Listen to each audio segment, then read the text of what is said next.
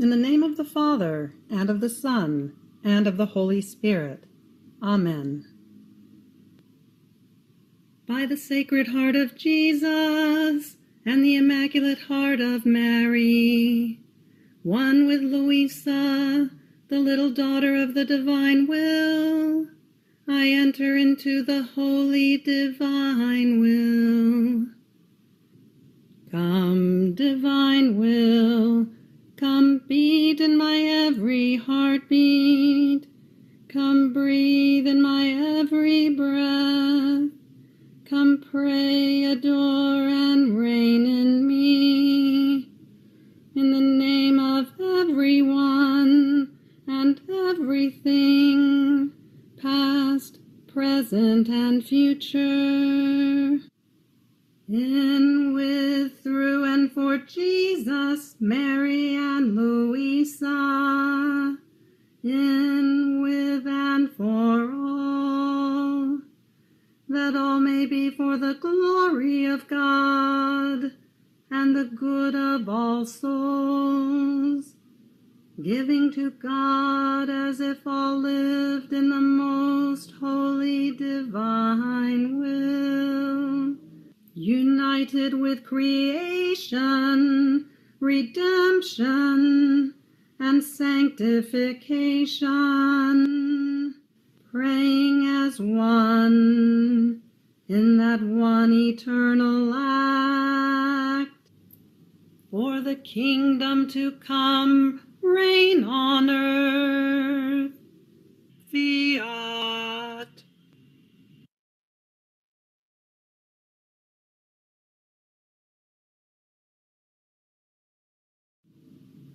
Book of Heaven, Volume 19, Part 16.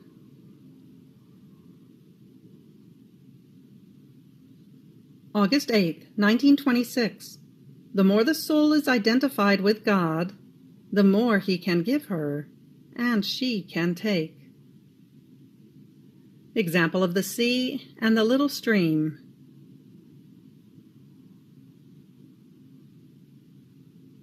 As I was in my usual state, I felt all abandoned in the arms of Jesus. And he, moving in my interior, told me, My daughter, the more the soul is identified with me, the more I can give her, and she can take from me. It happens as between the sea and a little stream that is separated from the sea only by a wall. So much so that if the wall were removed, the sea and the little stream would become one single sea. Now, if the sea overflows, being near it, the little stream receives the water of the sea. If its roaring waves rise, in lowering again, they unload themselves into the nearby little stream. The water of the sea pours into it through the cracks of the wall. So the tiny little stream constantly receives the waters of the sea, and because it is little, it keeps swelling up, and it gives back to the sea the water it has received, to then receive it again. However, this happens because the little stream is near the sea. But if it were far away, neither could the sea give, nor could it receive. Its distance would put it in the condition of not even knowing the sea. While saying this, he showed to my mind, in practice, the act of the sea and of the little stream. And then he continued, My daughter, the sea is God. The tiny little stream is the soul. The wall that separates them is the human nature that makes one distinguish God and the creature. The overflowings, the waves that rise continuously to unload themselves into the little stream are my divine will that wants to give so much to the creature that the little stream, being filled and swelling up, may overflow, may form its waves, swollen by the wind of the supreme will, and may pour back into the divine sea to be filled again in such a way as to be able to say, I live the life of the sea, and even though I am little, I too do what it does. I overflow. I form my waves. I rise, and I try to give to the sea what it gives to me. So the soul who is identified with me and lets herself be dominated by my will is the repeater of the divine acts. Her love, her adorations, her prayers, and everything she does is the outpouring of God that she receives, so as to be able to say, It is your love that loves you, your adorations that adore you, your prayers that pray you. It is your will that, investing me, makes me do what you do, to give it back to you as your own things. Jesus kept silent, but then, as though taken by an irresistible emphasis of love, he added, O power of my will, how great you are! You alone unite the greatest and highest being with the littlest and lowest being, making them one.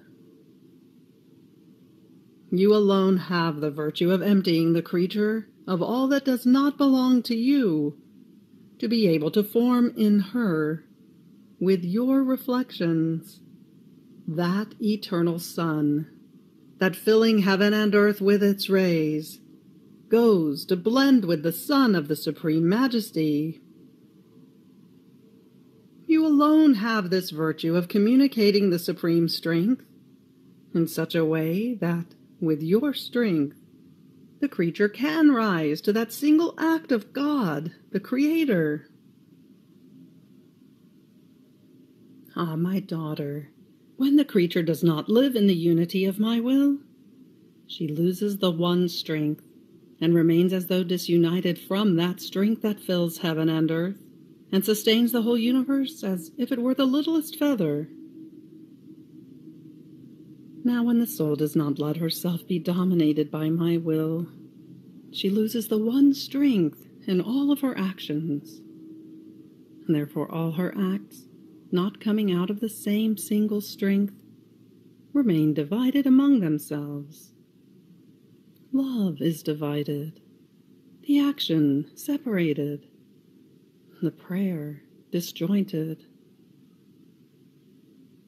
Being divided, all the acts of the creature are poor, meager, without light. And so patience is poor, charity is weak, obedience is crippled, humility is blind, prayer is mute, sacrifice is without life, without vigor. Because since my will is missing, the one strength is missing that uniting everything gives the same strength to each act of the creature. Therefore, they are left not only divided among themselves, but adulterated by the human will, and so each one is left with its own defect. This happened to Adam by withdrawing from the supreme will, he lost the one single strength of his Creator. And since he was left with his limited human strength, he felt hardship in his operating.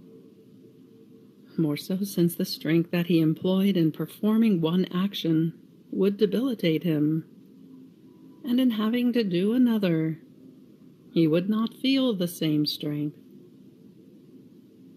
So he touched the poverty of his actions with his own hand. Not having the same strength, they were not only divided, but each one had its own defect. It happened as to a rich lord who possesses most extensive properties. As long as they belong to one owner only, he shows off. He makes big purchases. Who knows how many servants he maintains under himself? And with the large proceeds he receives, he keeps making new purchases. But suppose that this property were to be divided among other heirs. That's it. His great power is already lost. He can no longer show off as before, nor make new purchases. He must limit himself in his expenditures, and his servants are few. So his greatness, his lordship, has vanished. What is left are just barely the traces of it. So it happened to Adam. By withdrawing from my will, he lost the one single strength of his Creator, and with it he lost his lordship, his dominion, nor did he feel the strength to show off in good any more. The same happens for one who is not completely abandoned in the arms of my will, because with it the strength of good converts into one's nature, and poverty does not exist.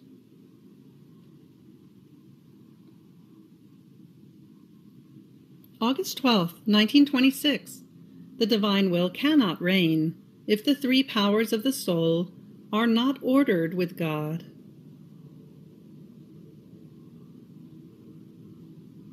The privations of my sweet Jesus are getting longer. Oh, how he makes me yearn for his return! How hours and days seem like centuries without him, but centuries of night, not of days.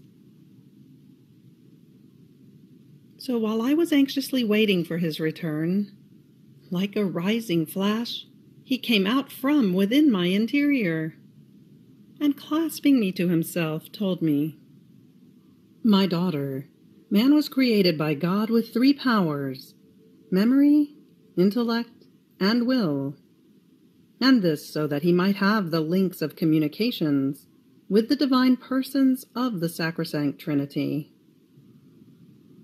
These were like paths along which to ascend to God like doors through which to enter, like rooms in which to form the continuous dwelling.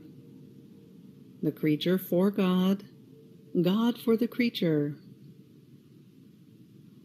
These are the royal paths of both of them. The gold doors that God placed in the depth of the soul, through which the supreme sovereignty of the divine majesty might enter the safe and unshakable room in which God was to have his celestial dwelling. Now, in order to be able to form its kingdom in the inmost place of the soul, my will wants to find these three powers given to the creature to raise her to the likeness of the Creator, in order with the Father, with the Son, and with the Holy Spirit. My will would not go out of its dominions if these three powers of the soul were in order with God, and its reigning would be happy and as though natural, because her three powers being in order with God, the creature would have order within herself and outside of herself, and the kingdom of the will of God and that of the creature would not be a divided kingdom, but a single one, and therefore its dominion and regime would be one.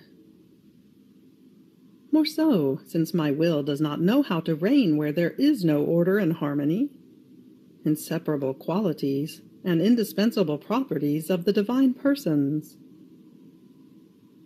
And the soul can never be ordered and harmonize with her Creator.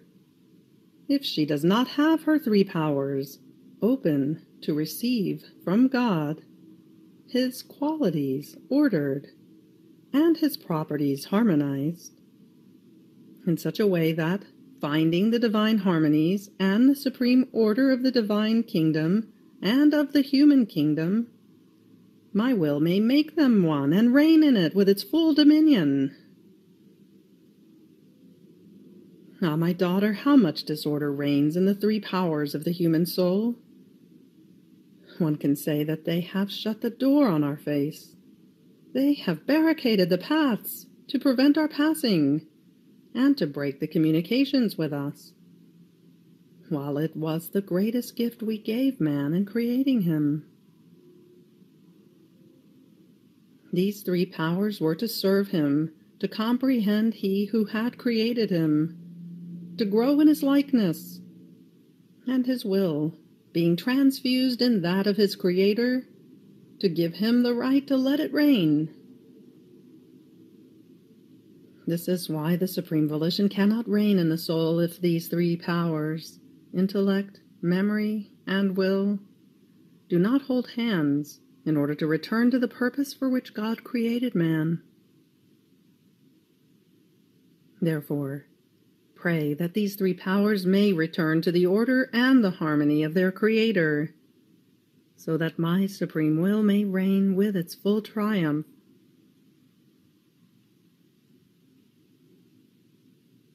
August 14th, 1926. Bitternesses of the Soul because of the news of the upcoming printing of the writings on the will of God. Words of Jesus in this regard. My poor heart swims in the sea of the bitternesses of the privations of my sweet Jesus. If he comes at all, he is like a flash that escapes and in that light of the flash, I see the poor world, its grave evils, the bonds among nations that are binding themselves to one another in order to start wars and revolutions. And by doing this, they draw the chastisements of heaven, but so grave as to destroy entire cities and peoples. Oh God, how great is the human blindness! But as the flash of his lovable presence ends, I remain in the dark more than before, with the thought of my poor brothers scattered in the hard exile of life. But this was not enough to fill my poor heart with intense bitternesses. Something else added to suffocate my poor existence with those roaring waves that overwhelm my poor soul. That is the news of the upcoming printing of the writings on the most holy will of God, since our Monsignor Archbishop had given his approval, placing the imprimatur himself. But this was nothing. The most fatal blow to my poor soul has been the news that they were going to put not only what regarded the divine will, but after so much insistence from our Lord and the superiors, I had convinced myself that the glory of God required this. And miserable and little as I am, it is not for me to oppose what blessed Jesus wants. But they were going to put out for printing also the order that Jesus has kept with me and everything he has told me, also about the other virtues and circumstances. This was too painful for me, and I spoke out my reasons over and over again so that it would not be done. Then, while I was so oppressed, my sweet Jesus, moving in my interior, as though feeling the weight of my oppression, clasped me in his arms, and shaking me up told me, My daughter, what's the matter? What's the matter? Be cheered. I do not want you to be so oppressed. Instead of thanking me, you oppress yourself. You must know that, so that my supreme will might be known, I had to prepare things, dispose means, overwhelm the Archbishop with those acts of absolute dominion of my will that man cannot resist. I had to make one of my great prodigies. Do you think it is easy to obtain the approval of a bishop? How hard it is. How many quibbles. How many difficulties. And if they approve at all, it is with many restrictions, almost removing the most beautiful shades, the most striking colors, from all that my goodness has revealed with so much love. Don't you see, then, the triumph of my will in the approval of the Archbishop? And therefore my great glory, and the great necessity that the knowledges about the supreme will become known, and like beneficial dew, dampen the ardor of passions. Like rising sun, my will dispels the darkness of the human will, and removes the torpor that almost all creatures have, also in doing good, because the life of my will is missing. My manifestations about it shall be like the balm that shall heal the wounds produced by the human will. Those who shall have the good of knowing them shall feel a new life of light, of grace, of strength flow within them to fulfill my will in everything. Not only this, but in comprehending the great evil of their own will, they shall abhor it, and shall shake themselves from the yoke so very hard of the human will, to place themselves under the gentle dominion of mine. Ah, you do not know nor see what I know and see. Therefore, let me do it, and do not oppress yourself. Rather, you yourself should have urged and pushed the one whom I have disposed with so much love to take on this commitment. Even more, you should have told him to hurry and not to lose time. My daughter, the kingdom of my will is unshakable, and in these knowledges about it, I have placed so much light, grace, and attraction as to render it victorious in such a way that, as they become known, they shall wage a sweet battle against the human will, and creatures shall be conquered. These knowledges shall be an immensely high and strong wall, more than the terrestrial Eden, that shall prevent the enemy from entering, in order to molest those who, conquered by it, shall pass to live in the kingdom of my will. Therefore do not become disturbed, and let me do, and I shall dispose everything, so that the supreme fiat may be known.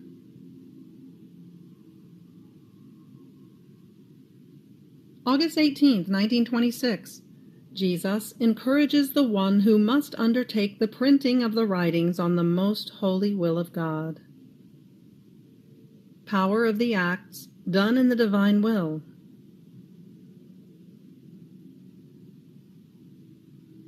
While I was praying, I found myself outside of myself. And at the same time, I saw the Reverend Father, who must occupy himself with the printing of the writings on the most holy will of God. Our Lord was near him, taking all the knowledges, the effects, and the values he has manifested about the Supreme Will that had changed into threads of light, and impressing them in his intelligence in such a way as to form a crown of light around his head. And while doing this, he said to him, My son, the task I have given you is great, and therefore it is necessary that I give you much light in order to make you comprehend with clarity what I have revealed. In fact, they shall produce their effects according to the clarity with which they shall be exposed, even though they are most clear in themselves. Indeed, that which regards my will is light that descends from heaven, that does not overwhelm and dazzle the sight of the intelligence, but has the virtue of strengthening and enlightening the human intellect, so as to be comprehended and loved, and of casting into the depth of the soul the source of her origin, the true purpose for which man was created, the order between creator and creature. And each one of my sayings, manifestations, knowledges about my supreme will are as many strokes of the brush to make the soul return to the likeness of her creator. Everything I have said about my will is nothing other than preparing the way, forming the army, gathering the chosen people, preparing the royal palace, disposing the ground on which the kingdom of my will must be formed, and so rule and dominate. Therefore, the task I am entrusting to you is great. I shall guide you I shall be near you, so that everything may be done according to my will. Then after this he blessed him, and came to my little soul, resuming his speaking. My daughter, how much I care about my will, how I love, how I yearn that it may become known. My interest is so great that I am disposed to give any grace to whomever wants to occupy himself with making it known. Oh, how I wish that they would hurry, because I see that all my rights shall be given back to me. The order between God and the creature shall be re-established. I shall no longer give my gifts to the human generations as halved, but as whole nor shall I ever again receive from them things that are incomplete, but whole. Ah, my daughter, being able to give and wanting to give, but finding no one to whom to give, is always a pain and a weight with no hope of relief. If you knew with how much jealousy of love I stay around the soul, when I see her disposed to do her acts in my will. Before she begins her act, I make the light and the virtue of my will flow in it, so that her act may take its origin on the virtue that my will contains. As she keeps forming it, the divine light and virtue invest it and carry it out. As she completes it, the light is sealed over it and gives it the form of a divine act. And oh, how my supreme goodness delights in seeing that the creature possesses this divine act. To these acts, my eternal love never says enough. It gives, and gives always, because with these divine acts, formed by the creature in my will, my love cannot limit itself. Since they are divine, it must repay them with infinite love and without limits. Don't you yourself see and feel with how much love I guide you? I accompany you, and many times I reach the point of doing what you do together with you? And this in order to give to your acts the value of a divine value.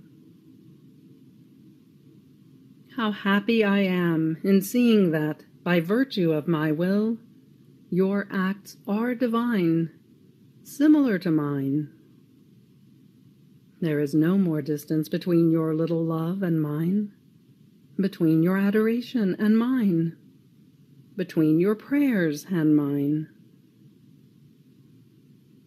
Invested by the light of the eternal volition, they lose their finiteness their human appearances and acquire the infinite and the divine substance, and transforming altogether the working of God and of the soul, my will makes them one.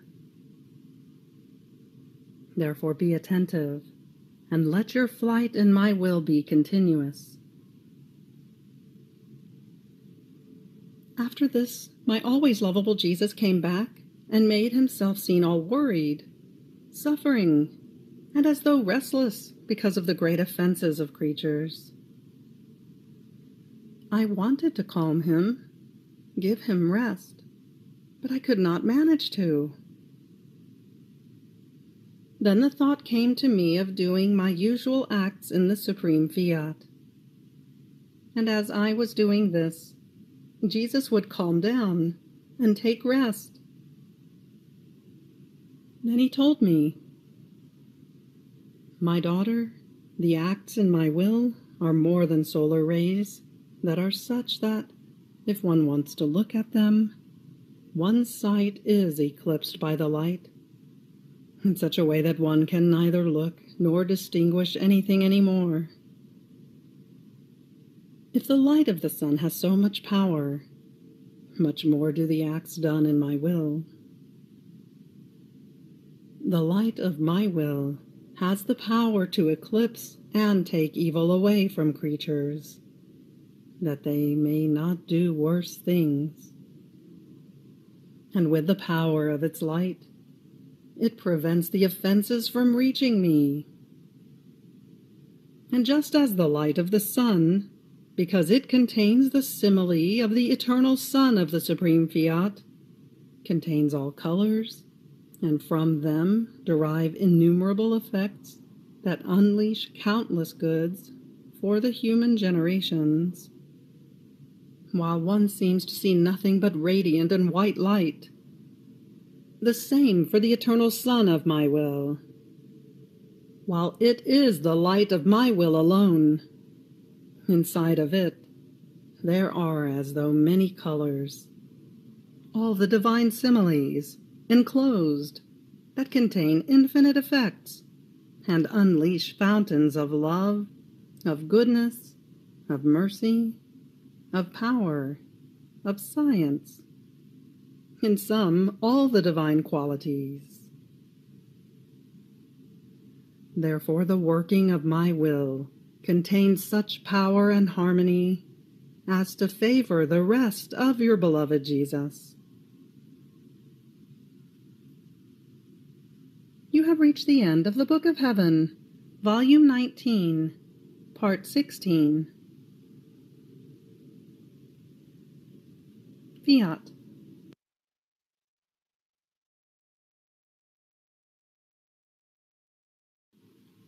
Dearest Lord Jesus, I thank you for your lessons of today.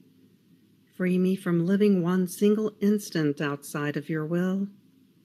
Have pity on me and do not permit that I either know or acquire any other life except that of your divine will.